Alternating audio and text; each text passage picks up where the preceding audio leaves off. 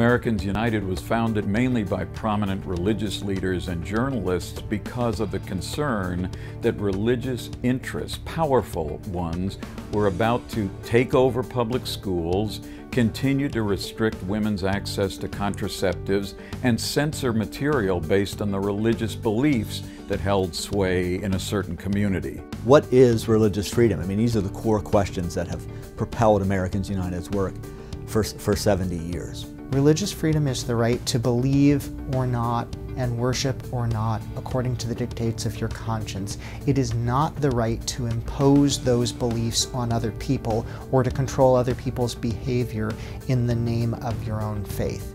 Yet that's what we're seeing. Americans United is an organization that is a thought leader when it comes to the measured movement forward in creating a more just world that includes a separation between church and state. One of the great things about what Americans United does is it doesn't believe that it can act alone. We are in so many coalitions.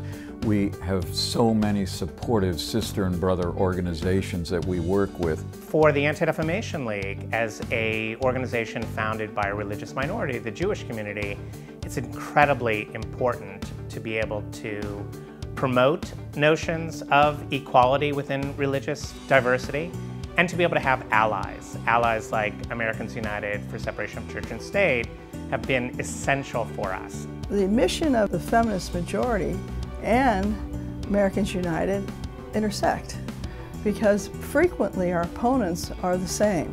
If we're going to be a pluralistic society, and if women are ever to have equality, we have to have a separation of church and state. There have been many cases where religious values, as they've been espoused by one voice or another, have been utilized to actually circumvent other civil rights protections in our society. Americans United have worked very, very hard to address those concerns, and the NAACP has seen where those concerns, in some cases, can have a very racist or otherwise discriminatory impact. Working with Americans United has really provided us a unique opportunity to educate our constituency about the First Amendment, about the separation of church and state, as well as their rights as Americans. The work we do here, I think, affects all Americans. We deal with public education, we deal with women's rights and reproductive freedom, access to health care, we deal with immigration, we deal with basic questions of discrimination, basic questions of equality and access.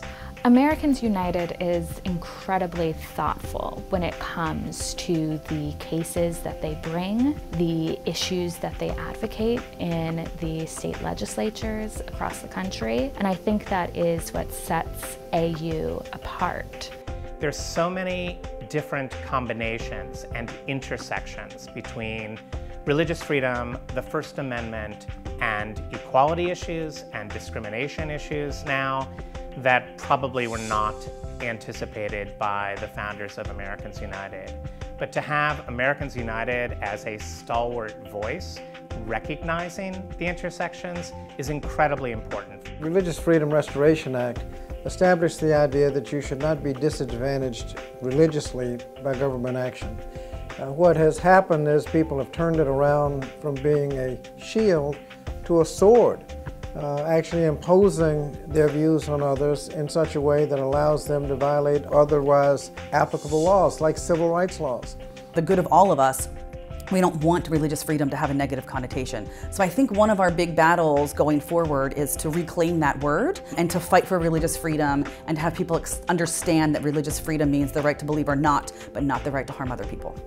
I know that Americans United has been around a long time, but I don't think it's ever been more essential than it is today. Uh, I don't think it's ever been more important to have an organization whose sole purpose is out there defending the separation of church and state, which I believe is one of the fundamental principles of this country, but has never been so under attack as, as it is today. I don't do this work for myself. I do it for my children. I do it for their children. I do it for generations not yet born. When the founder of this organization met with Eleanor Roosevelt at the White House, she said to him, We'll have to fight this battle for church state separation over again in every generation. The future of any movement, including this one, depends on what younger people understand about it, the significance that they ascribe to it, and the way in which they want creatively to work on it.